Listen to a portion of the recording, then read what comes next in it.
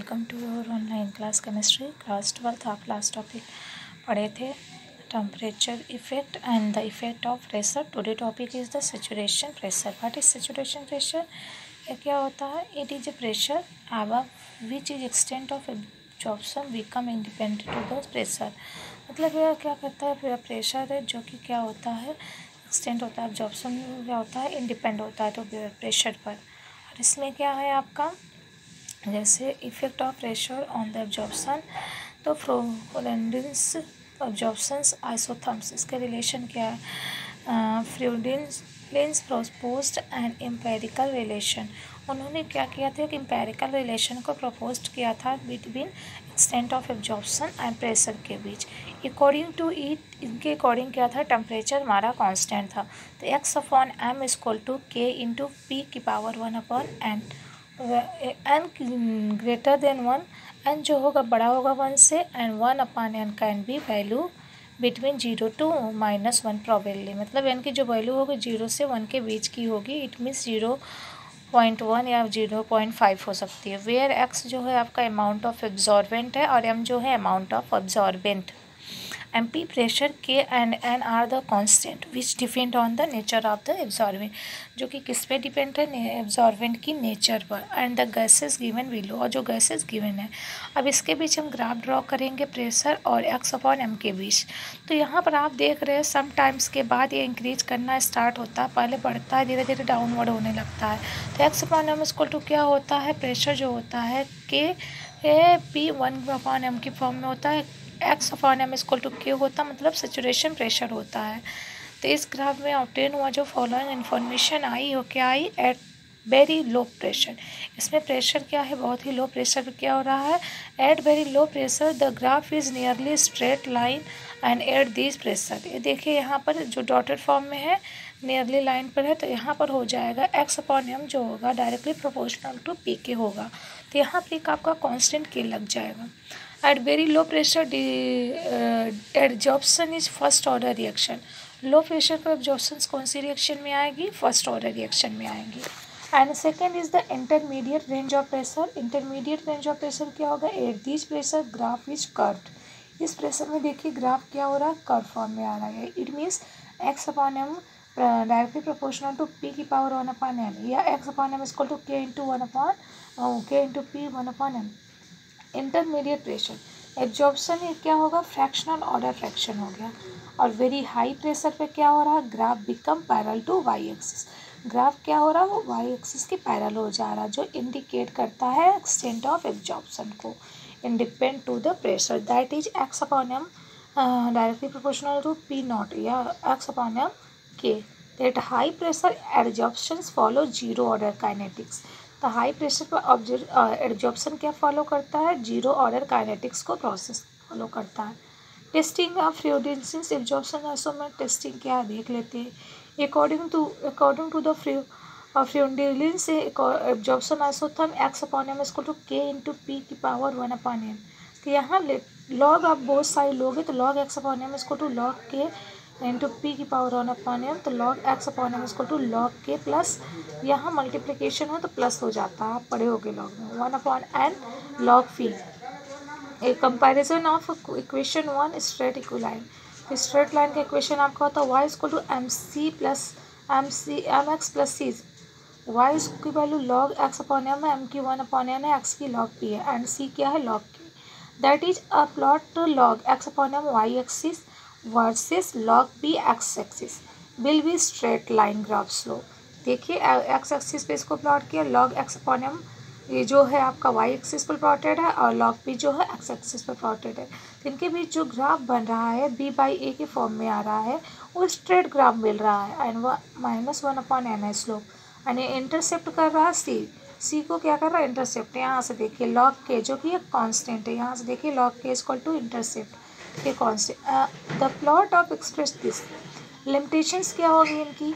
It is valid only over a limited range of pressure यह केवल limited range pressure के लिए ही केवल वैलिड होगा. Does not explain to why a very high pressure extended absorption become independent to pressure second is the constant K and n very high nature of absorbate and temperature इसका nature जो होता है absorb करने की high होती है.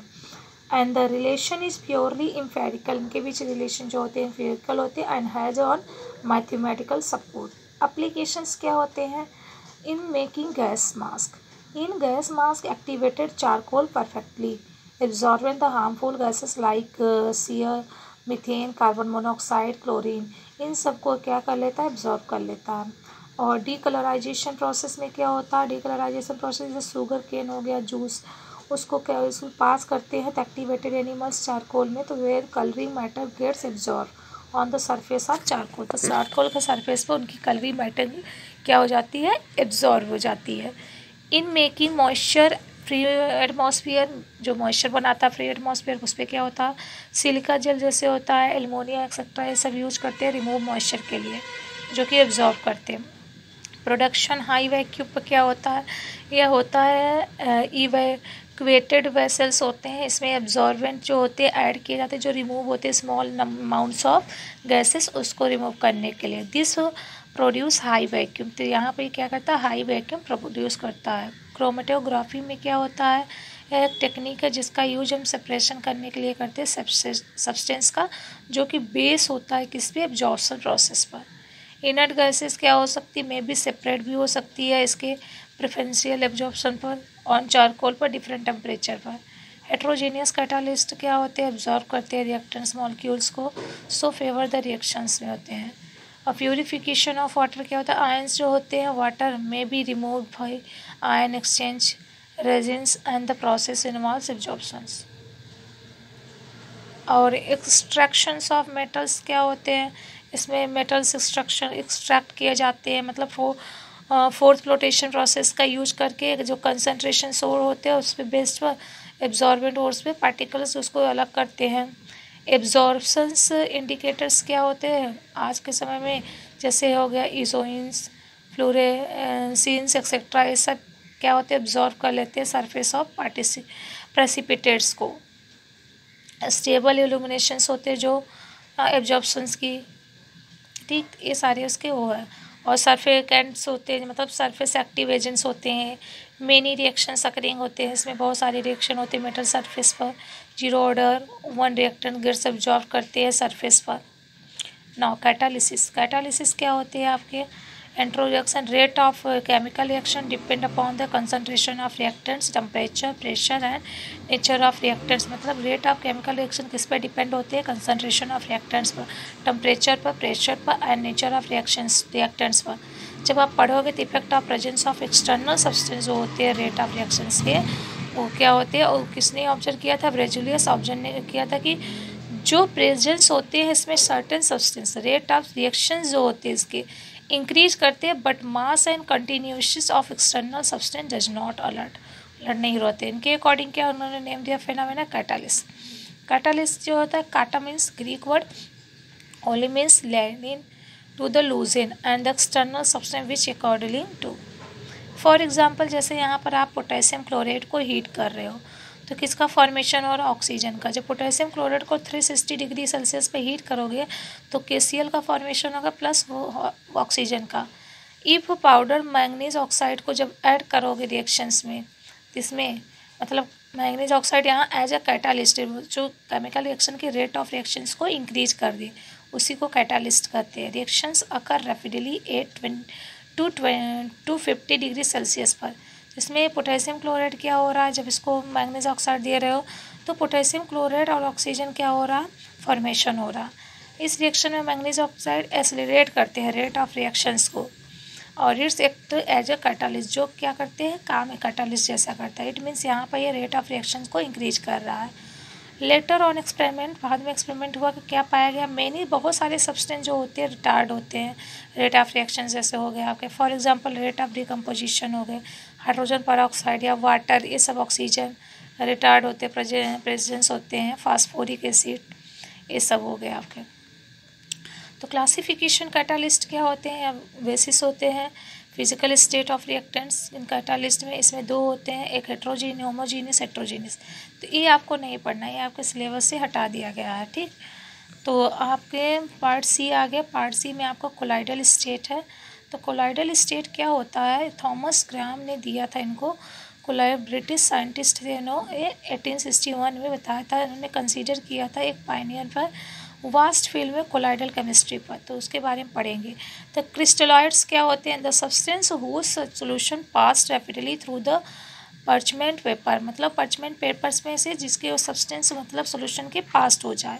इसी को हम क्या कहते हैं? क्रिस्टलॉइड्स कहते हैं। फॉर एग्जांपल जैसे इनऑर्गेनिक सॉल्ट हो गए एसिड्स हो गए एल्काइल्स हो गए कैन सुगर्स हो गए glucose urea common salt etcetera colloids क्या होते हैं? The substance who solution slowly pass वो सब्सटेंस जिसके सोल्यूशन स्लोली पास होते हैं पर्चमेंट पेपर से। उनका नेम होता है कोलाइड्स फॉर एग्जांपल्स क्या होते हैं इसमें? कोलाइड्स भी क्या होता है? Cola means glue and Lloyds means like hence they are substance glue like जैसे ग्लू हो गए, गिलेटिन हो गए एल्बुनिन हो गए, स्टार्च हो गए सिलेसिक एसिड हो गए, ये सब क्या होते हैं? ये सब स्लोली पास होते हैं। फॉर एग्जांपल जैसे यहाँ पर देखिए एन जो बिहेव करता है like crystalloids in aqua solution like colloid in benzene और बेंजीन में कैसा करता है? कोलाइड जैसा करता है। सोडियम सेपरेट होते हैं behave like colloid in aqua solution and like crystalloid in alcohol में।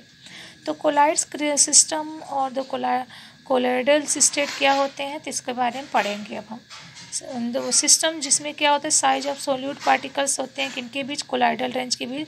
That is their size lies होते हैं, किनके बीच वन से टू हंड्रेड नैनोमीटर तक, जो कि जिसको हम कहते हैं कोलाइडल सिस्टम। ठीक? स्टडी करते हैं कोलाइडल सिस्टम में, इसमें यूज़ करते हैं अल्ट्रा माइक्रोस्कोप में, जो प्रपोज करते हैं फॉलोइंग फैक्ट्स को। कोलाइडल सिस्टम में जो होते हैं हाइड्रोजीनियस होते हैं नेचर में। कंसिस्ट करते हैं लिस्ट टू फेजेस होते हैं और वन फ़ेज़ जो होते हैं, इसमें प्रोवाइड करते हैं मीडियम को डिस्पर्शन के लिए अनकंटिन्यूसली नेचर में होते हैं। इस सेप को क्या बोलते हैं? कंटिन्यूस फ़ेज़ कहते हैं डिस्पर्शन मीडियम कहते हैं।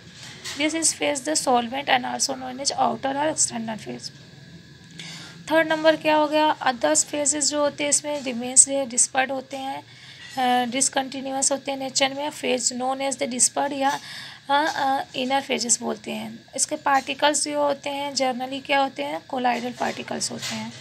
फोर्थ में जब पार्टिकल साइज़ होते हैं डिस्पर्स होते हैं phase lies between one into ten की power minus seven to two into ten की पावर माइनस फाइव तक होते हैं। ठीक? कोलाइडल स्टेट जो होते हैं इंटरमीडिएट होते हैं state between true solution and suspensions के बीच। इसकी साइज़ ऑफ़ कोलाइडल पार्टिकल्स की क्या होती है? लार्जर होती है सॉल्यूट पार्टिकल्स या ट्रू सोल्यूशन होते हैं स्मॉलर होते हैं। Than party particles of substance होते हैं। इसमें सिक्स नंबर में साइज़ जो होती है हाफ़ हो जाती है वेवलेंथ की। एंड जो कोलाइडल पार्टिकल्स होते हैं, क्या होते हैं? कैन पास होते हैं ऑर्डिनरी फिल्टर्स पेपर से। लेकिन कोलाइडल पार्टिकल्स जो होते हैं नेसेसरी पॉजिटिव या निगेटिव चार्ज होते हैं। एंड द कोलाइडल पार्टिकल्स क्या होते हैं? Very large total surface area होती है। ग्रेविटेशनल एक्सलरेशन क्या होते हैं? Does not affect the velocity of colloidal particles on the basis of true solution colloidal solution और सस्पेंशंस ट्रू सोल्यूशन क्या होते हैं? The size of solute particle in true solution is is smaller than one nanometre मतलब true solution size की solution की particles की जो size होती है ट्रू सोल्यूशन होती है मतलब जिसकी साइज़ क्या होती है? वन नाइनोमीटर से छोटी मतलब टेन की पावर माइनस सेवन सेंटीमीटर या ten angstrom the size of solute and solvent particle is almost same in दोनों की साइज़ क्या होती है? सेम होती है। और ट्रू सोल्यूशन जो होते हैं होमोजीनियस होते हैं कंसिस्ट होते हैं ओनली वन फ़ेज़ होता है। Due to small particle size के कारण दे ये डिफ्यूज़ करते हैं थ्रू परचेंट पेपर को तो पार्टिकल्स क्या हो जाएँगे? ट्रू सोल्यूशन में हो जाएँगे। कैन आइदर भी ऑयंस भी हो सकते हैं मॉलिक्यूल्स भी हो सकते हैं विजिबल नहीं होते फॉर एग्जांपल जैसे आप देख रहे हैं aqua solution of sodium chloride या यूरिया एक्सेट्रा ये सब क्या होते हैं? विजिबल नहीं होते तो यहाँ से आप कंपैरिजन करेंगे। अभी ये आप पढ़िए कोलाइडल सोल्यूशन क्या है आप तो कोलाइडल सोल्यूशन जो होते हैं, आपकी साइज़ कोलाइडल पार्टिकल्स की जो रेंज होती है वन से टू हंड्रेड नैनोमीटर तक होती है। और इसी को हम क्या कहते हैं? कोलाइडल सोल्यूशन कहते हैं। ये नेक आइज़ से हमने ये सोल्यूशन को तो सीन नहीं कर सकते। होमोजीनियस नेचर में होते हैं। लेकिन इसकी प्रूव कर सकते हैं सेवरल फ़िज़िकल मेथड से। सस्पेंसन्स क्या होते हैं इसमें? सो so, इसकी साइज़ सॉल्यूट पार्टिकल से लार्जर होती है टू हंड्रेड नाइनोमीटर तक होती है it means two into ten की पावर माइनस फाइव सेंटीमीटर होती है मतलब ट्वेंटी थाउज़ेंड एम होती है बेसिस होती है पार्टिकल साइज़ पर पार्टिकल सस्पेंशंस भी दो टाइप की होती है कोर सस्पेंडेड पार्टिकल्स होते हैं यह साइज़ जो होती है पार्टिकल्स की लार्जर होती है इट मीन्स फिफ्टी थाउज़ेंड होती है नैनोमीटर और फाइन सस्पेंडेड पार्टिकल की जो साइज़ होती है लाइज करती है रेंज टू हंड्रेड नाइनोमीटर से फिफ्टी थाउज़ेंड नाइनोमीटर के बीच। तो अब इसके बीच आपका क्या है? ए क्लासिफिकेशन है। मतलब आपकी इसमें डिफरेंस बताना। तो डिफरेंस आप सेल्फ करोगे। ट्रू सॉल्यूशन में कोलाइडल सॉल्यूशन सस्पेंशन में और प्रॉपर्टी में डिफरेंस क्या होती है? ठीक? तो इसे आपको सेल्फ पढ़ना है। इन सब में इसका डिफरेंस क्या है? तो अब यहाँ से आप पढ़ोगे क्लासिफिकेशन ऑफ़ कोलाइडल सिस्टम क्या होते हैं? क्लासिफिकेशन कोलाइडल सिस्टम की इस पर करते हैं on the basis of nature of dispersions में क्या होते हैं? Basis of nature of dispersions में मीडियम कोलाइडल सिस्टम्स की जो होती फॉलो करती फ़र्स्ट एरेसोल्स ये क्या होते हैं? कोलाइडल सिस्टम एयर मीडियम होते हैं डिस्पर्स मीडियम होते हैं एयर के थ्रू हाइड्रोसोल जो होते हैं सिस्टम में वाटर डिस्पर्शन मीडियम होते हैं. अल्कोहल जो होते हैं कोलाइडल सोल्यूशन में एल्कोहल डिस्पर्सन मीडियम होते हैं. और बेंजोसोल जो होते हैं बेंजीन डिस्पर्सन मीडियम होते हैं कोलाइडल सिस्टम में. On the basis of charge and dispersion phase में क्या होता है? इसके बेसिस पे जो चार्ज प्रेजेंट होते हैं डिस्पर्सन फ़ेज़ में कोलाइडल सोल्यूशन में फॉलोइंग करते हैं टू टाइप्स में। एक होते हैं आपके पॉजिटिव कोलाइड्स और एक होते हैं negative colloids the colloidal solution in which particles जिस, जिसमें कोलाइडल इस पार्टिकल में डिस्पर्स होते कैरी करती है पॉजिटिव चार्ज को। टर्म ऑफ़ पॉजिटिव कोलाइड्स में। जैसे फॉर एग्जांपल आपका हो गया कोलाइडल सोल्यूशन जो होते हैं मेंटल हाइड्रोक्साइड्स होते हैं ए एल ओ एच की पावर ओ एच का थ्राइस होता है। तो कोलाइडल सोल्यूशन जो होते हैं बेसिक टाई होते हैं। कोलाइडल सोल्यूशन ऑफ़ होमोग्लोबिन जैसे हो गया methylene blue etcetera negative colloids क्या होते हैं? निगेटिव कोलाइड्स आपके पार्टिकल जो डिस्पर्स करते हैं फेस कैरी निगेटिव को। फॉर एग्जांपल जैसे गोल्ड सिल्वर कॉपर प्लेटिनम ये सब हो गए। On the basis of structure of colloidal particles इसके बेसिस पे क्या होता? है this classification was given by the इस क्लासिफिकेशन को किसने दिया था? लुमिनियर ने दिया था। बेसिस किसके बेसिस पर? क्लासिफिकेशन द कोलाइडल सोल्यूशन पर। फॉलोइंग करते हैं थ्री टाइप्स में। मोलिकुलर कोलाइड्स क्या होते हैं? कोलाइड्स वो होते हैं जिसमें साइज़ ऑफ़ मॉलिक्यूल से डिस्पर्जन फ़ेज़ जो होते हैं, किसके रेंज में होते हैं? साइज़ ऑफ़ कोलाइडल पार्टिकल्स के बीच। फॉर एग्जांपल कोलाइडल सोल्यूशन होते हैं एल्बोनियम से सिलिकॉन्स हो गए रबड़ एक्सेट्रा एसोसिएशन या माइसेलुलर कोलाइड्स क्या होते हैं? इसमें पार्टिकल्स ऑफ़ कोलाइड जो होते हैं एग्रीगेट्स होते हैं मेनी मॉलिक्यूल्स होते हैं ग्रुप में एटम्स में जो हेल्ड करते हैं टुगेदर कोहेसिव या वंडर वाल्स फोर्सेस के बीच, जिसको कहते हैं मल्टी मोलिकुलर कोलाइड्स कहते हैं।